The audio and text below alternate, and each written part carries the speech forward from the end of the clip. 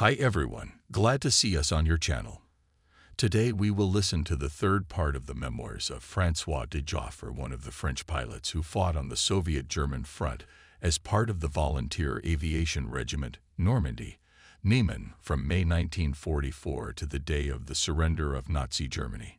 On May 25, 1944, the Normandy Regiment was withdrawn. Squadrons Rouen, Le Havre, Cherbourg, and Caen, one after another, in links, take to the air. The regiment is accompanied by General Zakharov on his La-5. The direction is to the west. The first landing is scheduled for Borovskoy, south of Smolensk. Borovskoy, a former Russian airbase, blown up and burned by the Germans during the retreat, was an intermediate point for us. Here we did not linger and immediately flew to Dubrovka. Never before had I felt such a thirst for battle. For too long I had led an idle life. I felt a rush of new strength and energy, and a vague desire for revenge. I was in a hurry to compete with these young men from the Luftwaffe, and felt the need to suppress in myself a few of their own victories, bitter memories of a major general defeat in June 1940. Below us is a solid plain. The forests have been replaced by fields. Bomb craters, ashes in the place of villages speak of war. We fly over the Dnieper, and leaving behind us the heavily destroyed Smolensk, continue our flight towards Dubrovka. The light transparent air is streaked with sunlight. In front of me is Lefebvre's airplane, shining like a polished pan of an exemplary hostess. I hear his voice on the radio. Hello, de Joffre. Attention. We're entering the combat zone. Don't forget your guns and your sights. Turn on the compressor just in case. If we meet father and son, maybe it'll warm you up a little in the first battle. It was like he read my mind. I was just thinking about my future first fight. And when Lefebvre reminded me of father and son, I couldn't contain a slight joyful excitement. Whether it is true or not, but they told me that in the area of Smolensk, almost constantly circling in the clouds, a pair of fighters, Focke Wolf 190. One of them pilots the father, the other, the sun. Very nimble and very dangerous adversaries, they attack unexpectedly and prey on everything from sanitized Po-2s and damaged planes returning to base to individual automobiles on the roads. But today we land without any adventures near the small village of Dubrovka, 15 kilometers from the front line. In Dubrovka, we are housed in huts. We sleep on wooden beds, having somehow adapted our sleeping bags. The canteen is quite good, and for us it plays an important role. It is also in a hut, similar to all Belarusian huts, and inside its walls are decorated with touching welcoming inscriptions. Welcome, Normandy. Glory to the brave French pilots, who together with the Red Army smashed the damned enemy. But not only greetings awaited us. Bedbugs are also plentiful. They attack ferociously at night, and it is against them that we start our first battles and come out victorious. The lamps at the headboard are one of the innovations that immediately caught our eye. They are made of 37 millimeter shell casings. A homemade wick floats in a brass cup filled with kerosene. The lamps are somewhat primitive, but they are quite cleverly made. Even those of us who had been stunned by the neon storefronts of Cairo now looked at these humble lamps with admiration. Immediately after arriving in Dubrovka, we are gathered by Lefebvre. He gives instructions and some advice on the upcoming fights. So, we'll act in pairs. All keep at the same altitude. The distance between the planes, 50 meters. Each plane follows the tail of its leader. Speed, 480. Weapons at the ready. Tanks to be switched after 30 minutes of flight. Do everything possible to keep your eyes on your lead. Land only on the alternate runway. Now, gentlemen, go to sleep. Don't forget the alarm. Good night. See you tomorrow. Easter, May 28, 1944. The weather seems to be settling in. A light northwest wind is blowing. The 3rd Squadron is in good shape. Eight fighters with regimental commander, Pouyade makes the first familiarization flight. Together with Lefebvre, my squadron commander, I rush to the fortifications of Vitebsk, which is still in the hands of the Germans. At the same height to the right and left of us fly three other lynx, carefully watching every corner of the sky. Caution. Above all, every dense cloud we penetrate with our machines may be hiding the enemy. Tighten up, de Joffre. Tighten up and turn to the left. Lefebvre commands me over the radio. We're heading south and flying exactly along the front line. Nothing suspicious in the sky. On the ground, everything seems calm. Enemy air defenses are silent. True, we're flying at an altitude of 4,000 meters. All in all, everything is going well, even, in my opinion, too well. We have been in flight for more than 30 minutes, but at least we have some prey in our teeth. There. Finally, I hear crackling in my headphones. There is a slight cough, and Lefebvre's calm voice. Follow me, Baron. Cover me on the dive. I'm in trouble. Lefebvre's plane bites the nose and at top speed rushes to the ground towards Dubrovka. I'm following him at close range, speed over 500 kilometers per hour. The altitude drops sharply. The variometer arrow deviates strongly, signaling too sharp a descent. What's wrong? Lefebvre must be having a serious malfunction. He wants to get back to base at any cost, which isn't far now. Lucky we were at 4,000 meters. The dive continues. I'm still covering the tail of Lefebvre's plane. Finally, the runway of our airfield begins to loom in the distance. I breathe a sigh of relief. Now Lefebvre will surely be able to land. But suddenly his plane begins to smoke. A milky trickle slides along the fuselage, turning behind the tail of the machine into a white band of fog, which every minute becomes more and more dense. Fear begins to overwhelm me. What is it? Is the engine too hot? Or a broken gas line? The latter would be far worse. And if that's the case, the fog is due to condensation from escaping gasoline. Lefebvre's voice still sounds calm in the headphones. de Joffre, coming in for a landing. I'm covered in gasoline. I see him release the landing gear and the landing boards. Circling over the airfield, I continue to watch. He approaches the ground, lands, and begins to even taxi. I can clearly see him opening the cockpit lantern. He must be choking on gasoline fumes. And the second I want to scream, he's saved. Huge flames burst out of the cabin. Blazing like a torch, Lefebvre jumps to the ground. I see him rolling on the grass to dislodge the fiery tongues, licking his clothes. Soldiers and mechanics rush to his aid.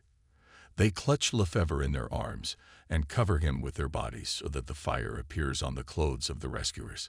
A hundred meters away from them, instead of the plane, is a bonfire in which shells and ammunition are bursting. I land. Lefebvre is carried on a stretcher to the sanitary unit. His face, blackened with soot but not damaged. The pilot's clothes are burned, almost to the ground. His legs seem to be particularly badly damaged. He notices me. His eyelashes lower and rise again. He smiles. He doesn't look like a suffering man at all. Lebedetzky, our doctor, can't say anything definite. The size and extent of the burns must be ascertained. The doctor's eyes avoid our worried gazes. Besides, he continues, no less dangerous is kidney blockage. In three hours poor Lefebvre was taken to the Moscow Military Hospital in Sokolniki and a few days later, in front of Captain Delfino, who did not leave him until the last minute, Lefebvre died. Posthumously, he was awarded the title of Hero of the Soviet Union. Lefebvre was buried at the base of the monument to the French soldiers killed in the campaign of 1812, a huge granite pyramid surrounded by a barrier of gun barrels, fastened with chains. In Dubrovka, mourning is a terrible burden on everyone, but life goes on as usual.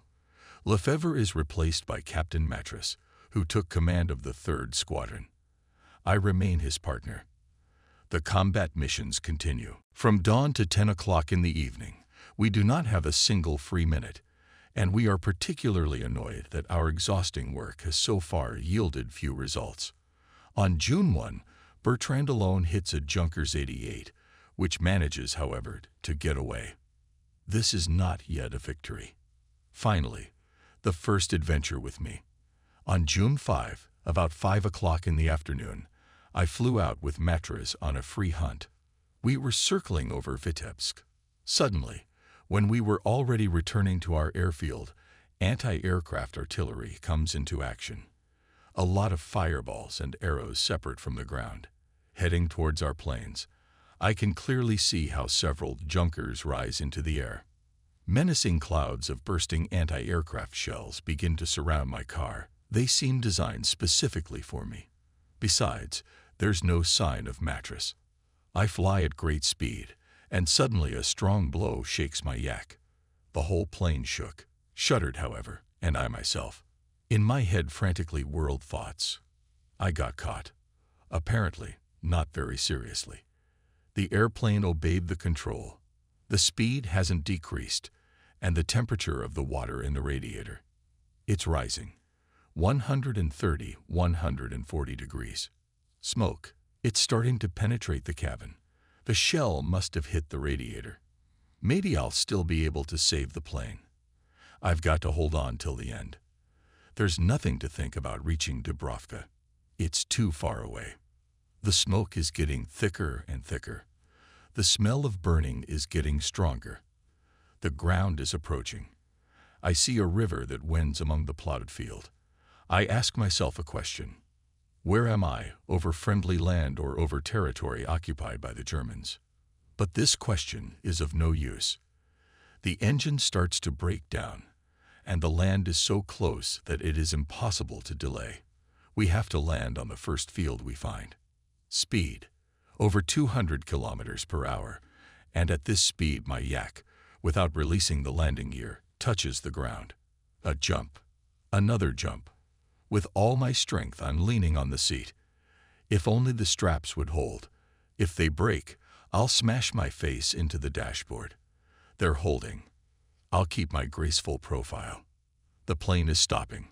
Finally, I wipe my sweaty forehead, and raising my head, I see a group of soldiers appearing at the edge of the forest. Russians, Germans, my heart is pounding hard. Hooray!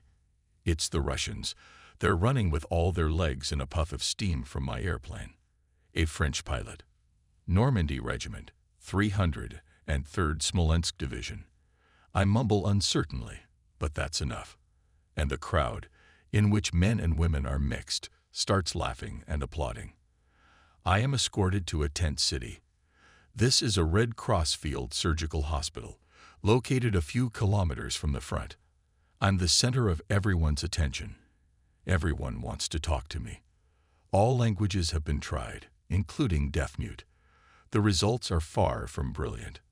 I've never been a polyglot, but today, apparently, completely stupefied and think worse than usual. The doctor major is forced to give up further attempts at conversation. He confines himself to the fact that characteristic gesture invites me to the table, where a rich dinner was waiting for me. In the evening, I am taken to a tent where two female military doctors are staying. They try to strike up a conversation, but they have to give it up very quickly. I have no desire to talk, though. There are groans of the wounded and dying all around. My wrecked yak does not go out of my mind. The squadron must be racking their brains thinking about what happened to me, thinking about anti-aircraft guns, their murderous fire. Needless to say, I did not sleep a wink all night. Early in the morning, a passenger car arrived at the hospital. Out of it came a slender colonel in impeccable uniform, on his head a cap with a green trim, which means belonging to the NKVD troops. He came towards me and saluted in a military manner.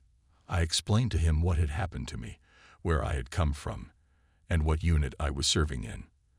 At the words Normandy Regiment, he smiled. I handed him my military ID card, which looked like a Soviet officer's ID card. He shook my hand firmly, even too firmly. Six hours of continuous jolting and Dubrovka spread out before us. We left at dawn and arrived at the airfield exactly at noon. The first one I see is Matras. He's waving his arms wide. Damn Baron, what's happened to you after all? That's what anti-aircraft artillery shots mean. Did you get your paid vacation? Traveling? You're lucky. You arrived on time. Tonight we decided to do away with you. Cigarettes and everything else is ready for sharing. My captain. I apologize. I'm sorry, but it's probably not tonight that I'll lose my cigarettes. By the way, what time is the next flight out? At three o'clock, Baron. Free hunting near Vitebsk. But this time dodged the shells. Laughingly tells me Matras, the new commander of the 3rd Squadron. Captain Matras is the type of a real commander who is respected and loved. He has a very energetic, swarthy face, to which a concerned frowning forehead and burning eyes under thick eyebrows give a stern expression. After graduating from flight school in 1937, he, driven by a thirst for a feat, moves to Russia. Leaving Paris in front of the Germans, passing through occupied France, Spain, North Africa, Egypt and Iran, Matras finds himself in Moscow in less than three weeks. We made together with him more than 60 sorties and shot down a lot of Germans. So far, the front is relatively quiet. In the evenings we read, write letters or play cards. In the black starless sky from time to time fly single invisible airplanes, the rumble of which is long heard in the silence of the night. These are night bombers or planes on special missions. Russian pilots, or night sorceresses, as they are called by the Germans, fly out on missions every night and constantly remind us of themselves. Lieutenant Colonel Bershanskaya, a 30-year-old woman, commands a regiment of these lovely sorceresses who fly light bombers designed for night operations. In Sevastopol, Minsk, Warsaw, Gansk, everywhere they appeared, their bravery was admired by all male pilots. The French are known to love a joke, and the fair sex. When I want to tease Captain Matras, I ask his permission to go to his superiors with a report on my appointment as a mechanic in the regiment of night witches. But one day after this joke, which has become almost classic, he calmly replies, Leave me alone, Marin. Tomorrow you won't care about the witches. The orders are to be on full alert, and I think it's going to be hot. Albert approaches Bertrand and Marcia, who, humming an uncomplicated tune, are tidying up. They feel in seventh heaven. Regimental Commander Pouyade assigned them to accompany the plane that flies to Moscow. If only they had something to dress up for, Albert snidely says. 24 hours in Moscow, of course, is not so bad, I agree, but you have to be able to use them. And in my opinion, with faces like yours, you can hardly achieve much. But now even Albert's taunts can't spoil Bertrand's good mood. Get away from me, Vive. The old warrior feels at home everywhere. And then there's my Russian. Isn't that right, Marquis? Of course, replies Marshy. They're just dying of envy. What are they talking about? Who can stop us from having a great time in Moscow? Go, Marshy. And in front of the entire regiment, Bertrand and Marshy fly to Moscow. It goes without saying that in Moscow they did nothing reprehensible and slept very peacefully alone in the Savoy Hotel. It was evident from everything that serious events would not be long in coming. In a state of full combat readiness, sitting in shifts in airplanes, ready to leave in 15 seconds after the signal flare, we are waiting for our hour. To pass the time, we share memories of the past. Suddenly, at the moment you least expect it, a green rocket takes off into the sky. Immediately you turn on the ignition, the starter, and at a speed of over 400 kilometers per hour, we soar under the clouds, which gild their loose bellies in the sunlight. We quickly climb into the sky above Dubrovka. In the headphones, a voice from the ground. Hello. Attention. Ryax. Height. 4,000 meters. Direction. Square 37B. A group of enemy airplanes has been spotted. Roger, you are understood, comes the reply. The radio goes silent. Blind pursuit of some invisible enemy in some geographical point begins. After a while, there's another crackle in the headphones, and I can barely make out, hello, Ryaki, follow to quadrant 38A, altitude, 5,000 meters. We are in pursuit of a ghost that eludes us. My neck aches from the exertion and my eyes pop out of my forehead. It seems to everyone that the enemy plane must be searched higher, always much higher than his own plane. The oxygen mask is on, the compressor is on, and we are climbing higher and higher. Aha, finally. Here it is, Junkers 88, a scout. It is immediately distinguishable by a long white trail of condensed vapors, which comes off the fuselage and the ends of the wings. These three long white streaks may be the cause of his demise. Too late, the bomber is dive bombing and heading west. Even at full speed, the interception fails. Today, Junkers will deliver the information and photographs received. Tomorrow, he may be less fortunate. June 15, near evening, from division headquarters reported that Colonel Golubov, commander of the 18th Guards Regiment, with whom we have been advancing for several months, in an air battle in the afternoon shot down two enemy aircraft, one Messerschmitt 109 and one Junkers 88. It also became known that the pilot from the hit Messer saved himself by jumping out with a parachute and is trying to reach his own. On the vast plain that stretches from Dubrovka to the front line, not easy to hide, and very soon the German disguised in civilian dress was discovered. On the ground it is damnably beginning to smell of an offensive. Rumor has it that 600 fighters, 400 attack planes and bombers have arrived at our neighboring airfields and are ready to spring into action at the first signal. There are columns of tanks, artillery, and infantry moving back and forth on the roads. A million Russians against a million Germans, thousands of tanks and thousands of airplanes on both sides. There's bloody fighting ahead. We're always on the alert.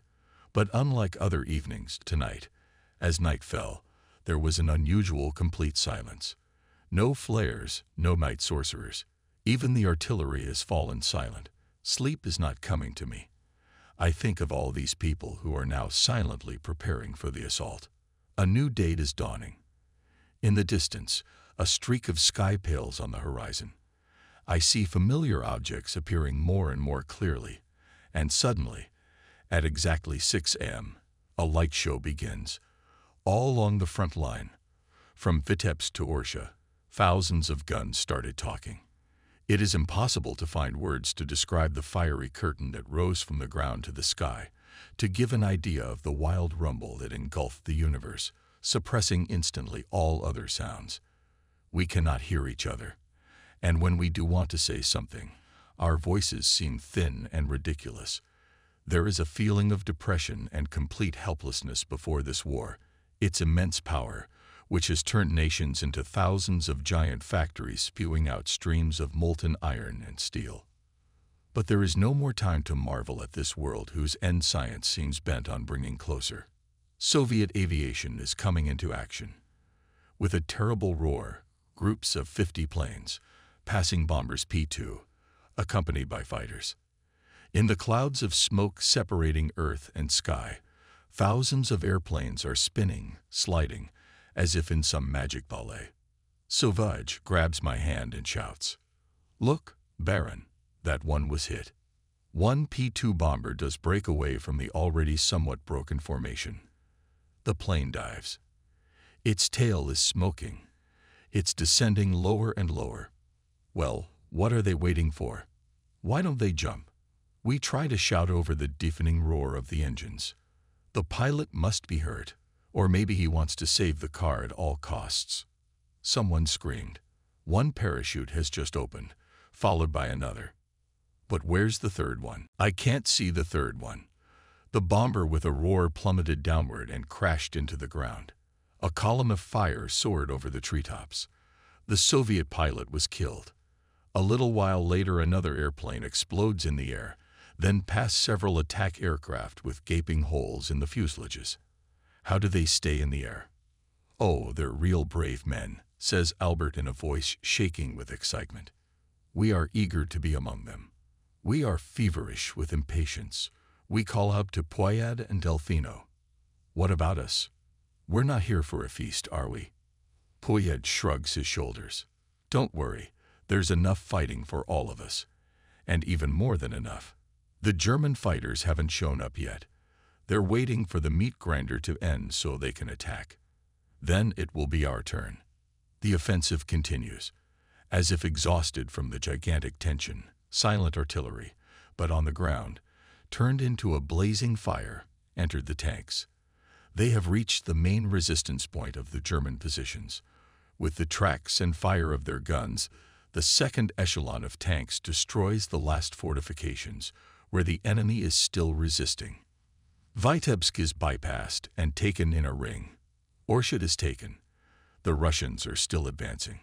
At 8 o'clock in the evening, when dusk has not yet fallen to the ground, the regiment Normandy makes a combat sortie in full, split into two groups. One commanded by Pouyade, and the other, his deputy Major Delfino. In the first group of 22, in the second 17 fighters. Both of them are given the task of blocking from the air Borisov, to the outskirts of which approach the Red Army. German fighters hang in the air. The radio from the ground continuously warns. Attention, comrades. German airplanes, Focke-Wulfs. But not only Focke-Wulfs are in the air. The Messerschmitts have also arrived for a rendezvous. Captain Schall and his wingman Kern shoot down the first two fighters, Messerschmitt 109. The situation heats up. The Germans take Lumaire and Gaston by surprise. Lumaire's controls are damaged, with a huge hole in the fuselage. Gaston's plane is more seriously damaged. It flips in the air, leaving a trail of smoke behind it. We keep our eyes on it. One second, and it's over. Our hearts fill with anger and rage. Goodbye, Gaston. But the battle requires the full force of all our strength. Moynet and Tabourot fiercely pursue the two Krots. Moynet turns a German fighter into a flaming torch in seconds. This is revenge for Gaston. Schall and Mikkel are flying over Borisov in a dizzying round dance. Here, Schall shoots down one enemy plane, then Michael shoots down another. But the Krot, before admitting himself defeated, trying to get out of a steep turn, fires a long burst and seriously damages Michael's machine, which lands with the retracted landing gear near Orsha. Yes, it was a real scuffle. One pity. Third Squadron didn't take part in that fight. That's what I think about at night, when the regimental commander reports the results of today's battle. 73 sorties, 7 downed enemy planes. Gaston died, but Mickle was saved. Dear old Gaston. The war, in which he had been trying to participate for a long time, ended for him in the first battle. Further events unfolded so lightning fast and rapid that we do not have a moment to mourn the dead. The offensive is developing successfully. That is the most important thing. The Soviet troops have moved forward more than 200 kilometers and are rushing to the Niemen. Without giving the enemy a break, they pursue the scattered remnants of the Wehrmacht. They capture tens of thousands of prisoners, but even more are killed on the battlefield. The German front has collapsed. A large part of Soviet territory is liberated. Invaders haphazardly retreat to Lithuania and East Prussia. These battles are a great success of General Chernyakhovsky, the youngest general of the Red Army. Unfortunately, he did not see the day of final victory. Chernyakhovsky was later killed by an enemy shell near Königsberg during a tour of the battle area. We are still based in Dubrovka and therefore somewhat remote from the combat area. One day the Russians told us of an extraordinary incident that happened to Colonel Golubov, commander of the 18th Guards Air Regiment. During the pursuit of a messer on a strafing flight, his plane caught fire, hit by anti-aircraft artillery fire. At that time, he was flying at a speed of 400 kilometers per hour. Golubov reduced the speed to 200, descended, opened the cockpit lantern, and jumped without a parachute from the car engulfed in flames. He, of course, died. Involuntarily shouted we. No, he's alive. Excitedly tells us the regimental doctor, an eyewitness to this extraordinary case. Golubov rolled on the ground for more than 20 meters, having lost consciousness from the terrible impact of the fall. Indeed, around noon, in front of the pilots of the 18th Regiment and Normandy frozen in formation, landed Douglas. In front of the hushed formation to the plane is carried on a stretcher Colonel Golubov with a bandaged head. When the stretcher is near us, a huge effort of will, He forces himself to raise himself on his elbows. Deep creases furrow his dead pale face. His pelvic bones are damaged. Five ribs are broken, his skull is cracked, and his entire body is covered in abrasions. In a weak, barely audible voice, as if an alien from the other world, he utters words that I can never forget. Comrade pilots of the 18th Regiment, and you, our friends, the Frenchmen from Normandy, I'm sorry to have to leave you. But very soon I'll be back, and I'll be with you until the final victory. Swear to me that you will do your duty sacredly. See you soon, friends. Glory to the Red Army. With one voice we shout, We swear. Six months later, the colonel returned to us. It was hard to watch as he waddled across the field, as if assembled from disparate parts. But as soon as he recovered a little, he immediately flew out on another combat mission at the head of the 18th Regiment, thus keeping his word he commanded us until the final victory. This man was able to defeat even death. Again a lull comes for us. Our pastime these days resembles a period of vacation, although none of us wants to think of rest. Andra, a crayfish fisherman and a great builder, is trying to dam the river and make a swimming hole. The water in the river is noticeably reddish in color, but we pay no attention to it until one day Andra bursts into our dugout with a loud shout. Don't you know what I just found out? We don't say a word, of course. So here it is. For two weeks we have been floating in the river and do not know that upstream of us on the bank there is a hospital where the seriously wounded are operated and treated. Now you understand where the reddish color and apothecary smell comes from. This discovery makes us shudder but then we stop thinking about it. Soon we learn of Falton's disappearance. Together with his mechanic, he flew out in a Yak-7 to repair his fighter, which because of the accident he left 50 kilometers from Dubrovka.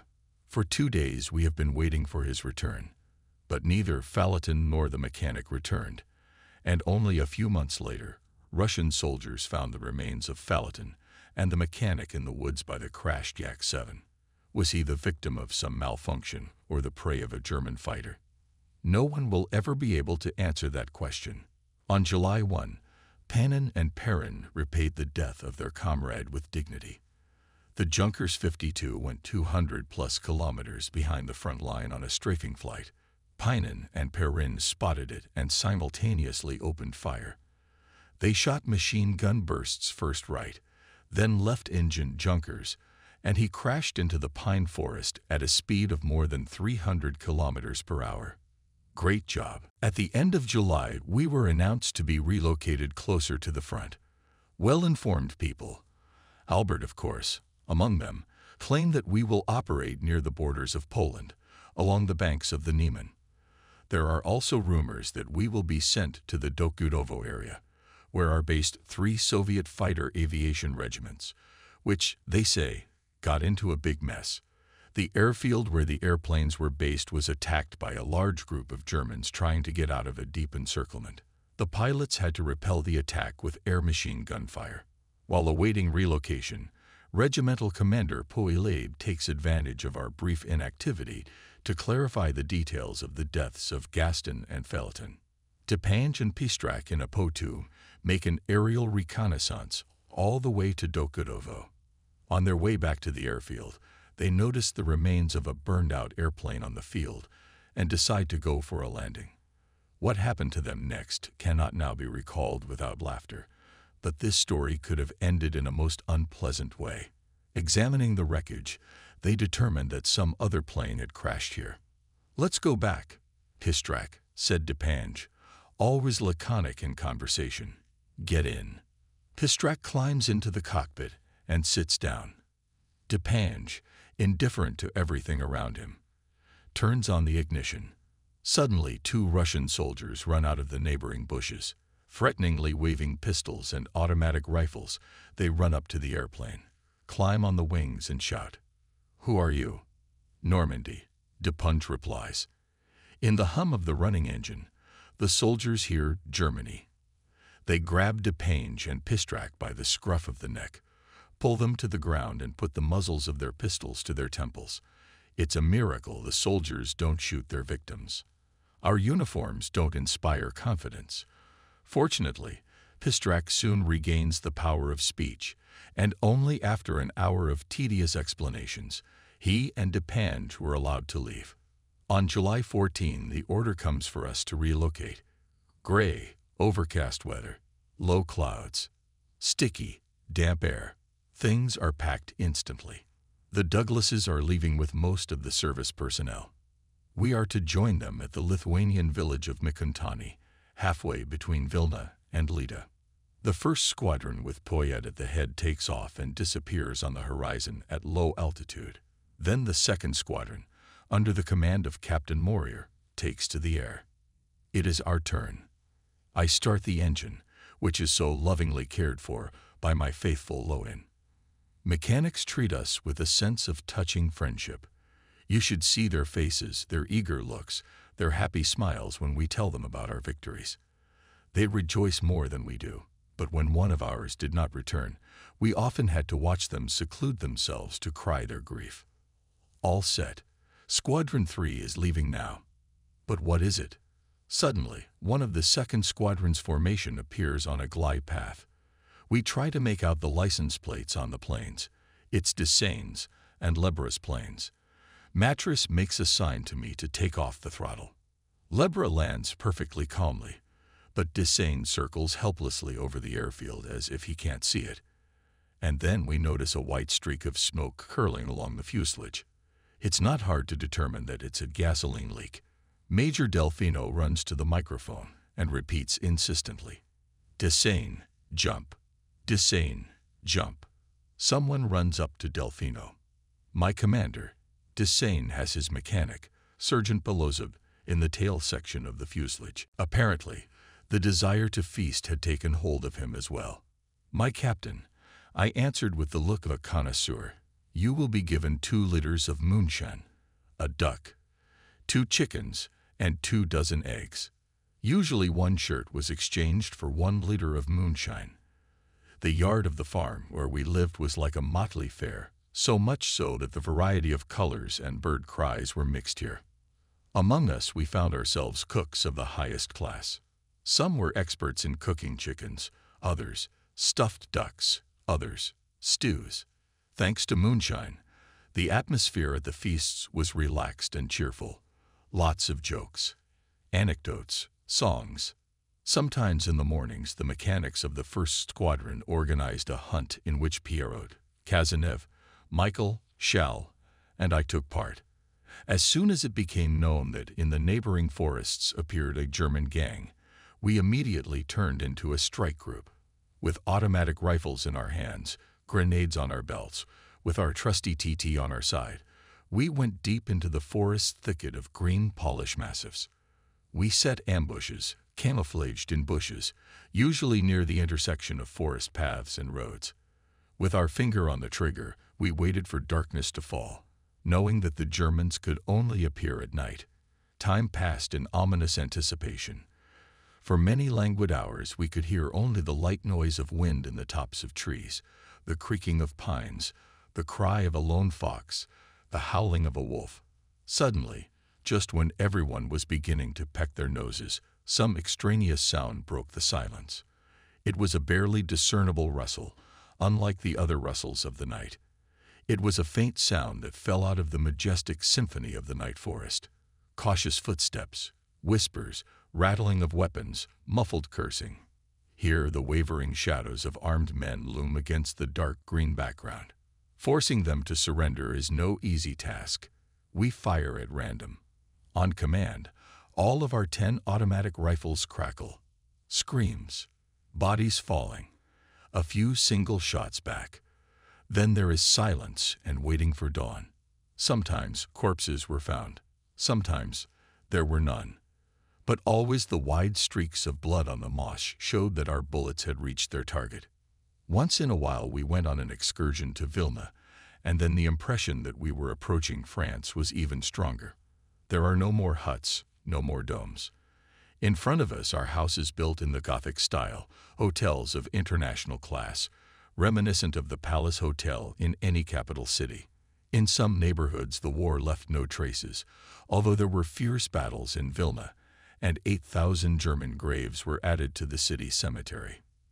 Then we were busy visiting Polish villages, where we tried to perfect our science of exchange and make small acquaintances, which were forgotten the next day. One day toward evening, returning with Erebarn after our usual walk, we see that there is a battle going on at the farm. Automatic anti-aircraft guns have been turned into field guns and are hitting with direct fire. There is a strong smell of cinders. They must be krauts, remnants of the Wehrmacht, says Erebarn. Hunger forced them out of the woods after all. They must have. But what do we do? How do we get back to our place? They might shoot us like partridges. We decide not to give any sign of life, lest we really lose it, and spend the night crawling into the forest thicket, waiting for the end of the turmoil. Good idea. In the morning, we learn that a group of Germans attacked the farm with utter contempt for death, and the Russian soldiers met them with fire, having previously received orders to shoot without warning as soon as anything seemed suspicious to them. At last the days of idleness and idleness come to an end. The sorties are resumed. The battle for the Niemen has begun. Flights to block Kaunas, the capital of Lithuania. From the air, follow one after another. Major Delfino warns us that the enemy anti-aircraft artillery has been particularly active lately. On July 28, about 7 o'clock in the morning, one wing of the 4th Squadron flies out with the task of patrolling in the area that seems so calm and safe. Suddenly, the voice of Captain Shell breaks into the airways. Attention, anti-aircraft guns. Attention, anti-aircraft guns. The Germans open a rare measured fire on our planes. It seems that in this sector air defense batteries are served by real snipers. A few minutes later, Genesis' plane is badly damaged. Decheris' machine bursts into flames, and he parachutes out. An hour later, de Pange finds him. We leave Mikuntani and fly to Alytus, a town about 50 kilometers south of Kaunas, on the left bank of the Niemen River. Surrounded by coquettish villas, it seems extinct. The town's state-of-the-art bridge has been blown up, and its trusses rest in the waters of the river running lazily to the Baltic Sea. Corpses are everywhere, on sidewalks, in houses, on the riverbank, in the river. In the personal notebook of de Penvern, a guy from the 3rd Squadron, there is the following entry. Alytus, July 30, 1944, on the bank of the Niemen swam in the river, surrounded by the corpses of German officers floating downstream. And this is the real truth. Our new airfield is located on the territory of the former Lithuanian Air Base, whose service and living quarters were completely destroyed during the German attack on Moscow. The soldiers' barracks serves as our canteen, and we ourselves are comfortably accommodated in small cottages on the right bank of the Niemen River.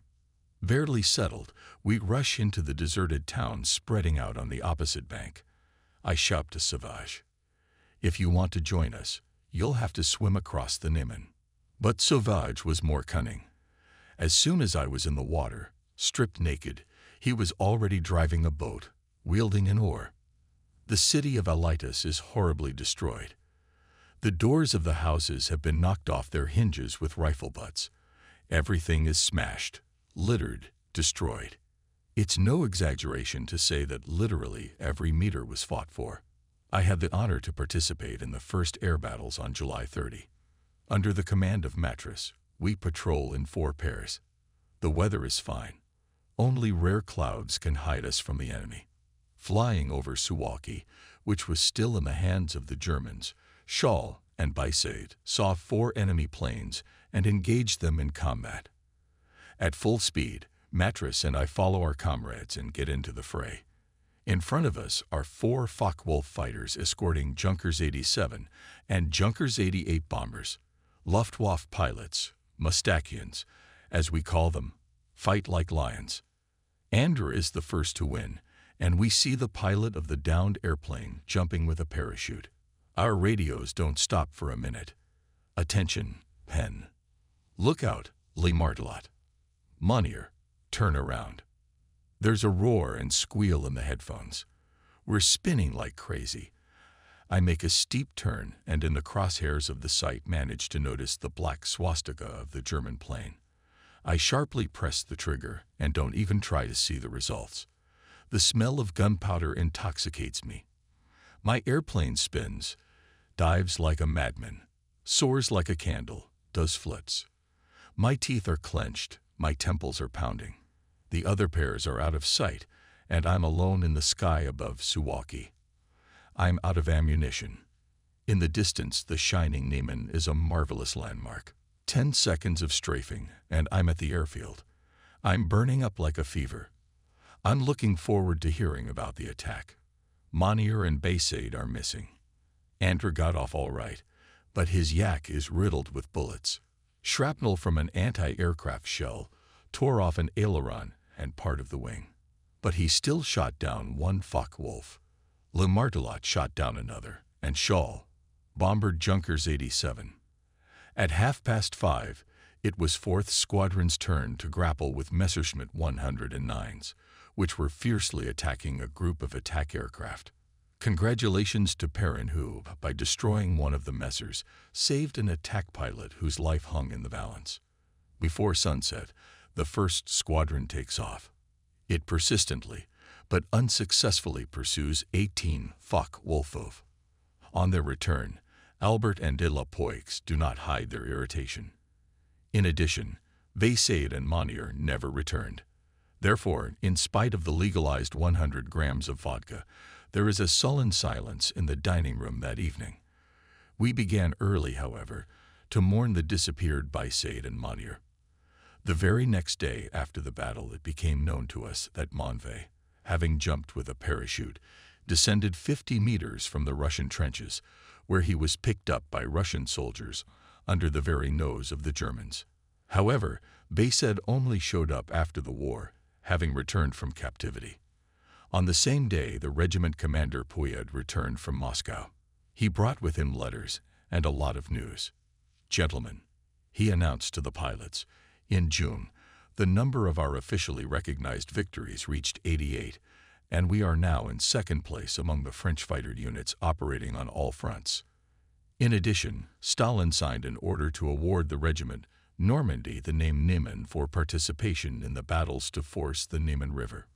From now on our regiment will be called the Normandy Niemen Regiment, Order of the Military Cross. Bright delivers them to Moscow. On the same day they are replaced by Major Vdovin, together with whom we fight until the victory. At the front again, all is quiet. Our actions are mainly limited to the cover of P-2 airplanes, which make an aerial survey of the front line. August 8 came, my birthday. I was preoccupied from the morning. I wanted to get a few liters of moonshine and vodka to celebrate with friends from the 3rd Squadron my 24 years worthily. The Lord God did not forsake me.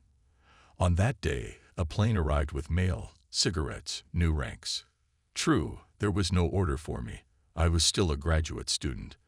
But promotions in the ranks of others, as if by magic, made carefully hidden bottles appear in the light, and my anniversary merged with a joyful event in the lives of those who rose higher up the ladder. All night long there was a terrible clamor. Soon rumors reached us, as if the Germans concentrated on our section of the front more than 700 fighters and bombers and are preparing a serious massive blow. However, we were even more stunned by the interpreter Eichenbaum's message that we should receive a new fighter plane, Yak 3. And while we are waiting for it, Albert summarizes the combat activity of the regiment on the Eastern Front for the period of the Second Campaign, that is, for the last three months. 1,015 combat sorties, 12 unconditional victories, 3 probable. Six of our pilots died. On the miraculous morning of August 13, the regiment, still based at the airfield in Alytus, snatched the famous Yak-3 fighters, Soviet ferry pilots, who flew them from Saratov, lined up the machines near the control center. All personnel of the regiment rushed to them. Everyone was seized with extraordinary excitement. I was one of the first to run up and start stroking the airplane, to which from now on my life will be entrusted. Glorious Lokin stands next to me. With such machines, he exclaims, The war will soon be over. Distribution of new equipment between the four squadrons is not without disputes and mutual reproaches. Everyone, having chosen a certain airplane, which for unknown reasons seems to him better than all the others, fiercely defends what he considers as his property. The Yak-3 fighter is a very light in weight airplane, which certainly has much in common with the Yak-9 fighter, but differs from it in its higher flying qualities, more perfect form and thoroughness of finishing. Russian engineers, working under the direction of designer General Yakovlev, changed the outline of the fuselage, markedly improved the engine, and improved the equipment of the cockpit. The visibility is marvelous, especially forward. The aircraft has excellent maneuverability. When performing, a candle gives the impression that the machine will never stop. At dive, the airplane develops great speeds. Do not have time to give the handle, as the arrow already shows a speed of over 600 kilometers per hour. This is certainly a virtue, which, however, you need to know how to use. Armament is the same. 20 millimeter gun in the propeller hub and two synchronous large-caliber machine guns. The only drawback is that on the first machines were not particularly reliable chassis. But this is not able to reduce our enthusiasm. We with eyes burning with admiration fidget around the new machines. Well, how is it? Do you like it? You ask. Now get us Focke-Wulfs and Messerschmitts. The sound of a gong invites us to gather. We have a tour to Kaunas. We ride in a comfortable German bus, taken among other war trophies at Stalingrad. The highway stretches along the Niemen River through picturesque villages, almost unaffected by the war. Wrecked German tanks lying in roadside ditches mark the path of victory like milestones. Kaunas is spread on both banks of the Niemen River, but most of the city is on the right bank. Soviet sappers are building a wooden bridge to replace the stone bridge blown up by the Germans during the retreat. Before the war, Kaunas had 150,000 inhabitants, mostly Lithuanians and Jews. The latter occupied a special quarter on the outskirts of the city, separated by a small hill. They lived in wooden and brick houses built for them by the Russians in 1940 after their entry into Poland and Lithuania the Germans turned the Jewish quarter into a concentration camp. They surrounded it with barbed wire, beyond which one could only go out through a guard post guarded by sentries. Every day at dawn, the men were rounded up and inspected. Then they were sent to build fortifications, and if in the evening anyone was found to have escaped, his family, even children, were immediately shot. The Jews were starving to death, and the Lithuanians tried in every possible way to give them something to eat. The torment of the Jews lasted for three years and tragically ended on July 14, a few days before the Soviet troops arrived. On that day, the Germans brutally murdered all the Jews. The SS troops forced the owners to booby-trap their own houses, in which the families were locked up. Then the SS ordered the unfortunates to blow up their homes themselves. The terrible explosion shook the city. The people who miraculously survived the explosion, maddened by terror, were mercilessly shot by the SS, every last person. When we found ourselves on the site of the Kaunas ghetto, we saw thousands of disfigured corpses scattered among the debris of dwellings. Shocked, we photographed this horrific scene. When we returned to the city, I was the only one who had the strength to speak. I am deeply convinced that I have clearly expressed the thoughts of each of my comrades in the following words. Despicable scoundrels. They deserve to be treated the same way. But they know that no one is capable of such atrocities. Too bad we can never make them fully accountable for the misery they have caused people. Not surprisingly, after this terrible vision, we did not have much fun exploring Kaunas. We walked slowly down the main street of the city, a wide tree-lined alley where once old people used to take their afternoon walks peacefully, glimpsed the opera house and the buildings of official institutions. Our attention was not drawn to the Orthodox Church, which stands majestically at the end of Stalin Boulevard and is a mixture of Byzantine style and Rococo. The stores were empty, the cafes deserted. We had the impression that we had entered an extinct city. However, we were soon surrounded by a crowd of Kaunas residents. Extremely polite, attentive, and helpful people. Are you French? shouts one of the crowd. Of course I am. A Parisian. Yes, that's great. I used to live there. And now, amazed, I hear the true argot of the Parisian markets. We are surrounded by beautiful, elegant women, neatly and tastefully dressed, using Esperanto, which consists of a mixture of Russian, Lithuanian, and English, we start conversations, which have, of course, quite a definite purpose. I am invited by the wife of a doctor who owns a charming house on the embankment, but I have hardly had time to try out the comfort of the chairs before I have to leave, and Captain Matras, seeing my annoyed face, rolls with laughter. Don't be upset, de Joffre. You'll have more than one opportunity to come back here. In the evening in the dining room, the regimental commander addresses us with a little friendly speech. Gentlemen, rest is over. Let's get to work. The command requires us to use every sortie to destroy as many Boches as possible, wherever they are, in a car, on horseback, in an airplane, in formation or alone, we must attack and destroy them everywhere. They must be pursued relentlessly, without giving them the slightest respite. In accordance with this order, our first such sorties began.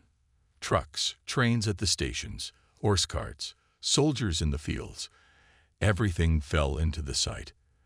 The accuracy of fire of the new Yak-3 fighter was exceptional. A real artistic work, however, not always safe. In these peculiar combat actions, Shal and Michael flying in a pair are especially distinguished. They are first-class aerial snipers who carefully polish each maneuver. Sometimes for better aiming, they descend so low that literally press to the ground, and often on the hub of the propeller or on the tail feathers delivered to the airfield telegraph wire scraps. My captain, Scholl once reported, I was forced to descend a little lower than usual to fire on a group of Krauts who were repairing the telephone line. If even they are not all killed, at least I added to their work, taking with them all the wires. On August 25, Dorr, who spends all his spare time at the receiver at the regimental radio station, bursts into our room. The London BBC has just reported that General Leclerc's troops have liberated the French capital in conjunction with the revolting population of Paris. Paris has been liberated. The news spreads instantly through the camp. The Russians embrace us. Engineer Captain Agavillan arranges a salute, and from nine o'clock in the morning everything that can shoot shoots. The most optimistic are convinced of the near end of the war. Defeated in the east and defeated in the west, the Krauts can no longer delay surrender. Gulko Albert doesn't share the general jubilation. Do not deceive yourself. He cools the most heated heads. Krauts so easily will not give up. Do not rejoice before the time. You'll see, they will make us still suffer.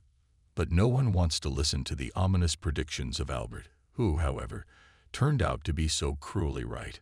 Two days later, a grand banquet is organized. Pouyade and Zakharov are literally carried on their hands. Everyone is preparing for their return. Each sees himself as already returned to his homeland. But the next day our joy is overshadowed by the death of Bertrand, one of the few who had passed over 40 and who was called a veteran of the Degen Link, an old warrior flying with him Marshy immediately after landing, with a dead pale face on which cold sweat streamed, deafening voice reported the trauma. My commander. About 12 o'clock we were west of Gumbinnen at an altitude of about 400 meters. Everything was normal. Suddenly I saw Bertrand start to dive at a target I never could see. All he said to me over the radio was, Let's go, Marshy. Let's go. I follow him. I give up the handle. The speed is increasing rapidly. 500, 650, then 700 and even higher. I say to myself, Bertrand is overdoing it. But I keep up. The Earth is approaching with tremendous speed. In the sunlight, I see an object separating from the plane, probably a piece of the right wing. Bertrand's car immediately goes into a corkscrew. At over 750 kilometers, it's hurtling toward the ground. It's a wild ride. I'm flying like a fog. I can see black circles in front of my eyes from the exertion. The cockpit lantern is blown off. But here the handle becomes more pliable. My yak comes out of the dive. I'm saved. A fraction of a second more, and I'd have followed Bertrand to the end. Old Bertrand. He will never return to his native Burgundy to drink a goblet of red wine for meeting his countrymen, as he said on the Moscow radio. We are warned not to develop too much speed on the dive. And now every time Matras and I go into a dive to fire on the Germans on the ground, my eyes are constantly watching the arrows of the instruments. On September 1, we provide air support to Russian infantry and tanks who are conducting a combat reconnaissance to probe the German defenses south of the Niemen. This allows us to see with our own eyes the exceptionally clear interaction between Soviet infantry and aviation. Shturmoviks, Pe-2s, La-7s, Yak-3s are continuously bombing and shelling the fortified German positions. Particularly terrible destruction is made by attack aircraft. These are real winged tanks. War, love, and cuisine continue to be the three driving stimuli of our lives. Cafu and de Saint-Phal take a plane 100 kilometers away from our base to, buy some chickens. We organize Pantagruel feasts, ending usually with a crazy poker game. After a stormy night, we fly out to hunt.